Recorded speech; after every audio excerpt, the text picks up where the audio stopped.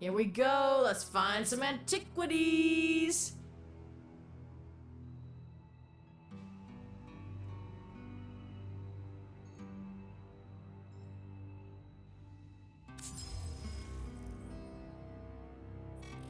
Hard to get isn't a good look for you little meat.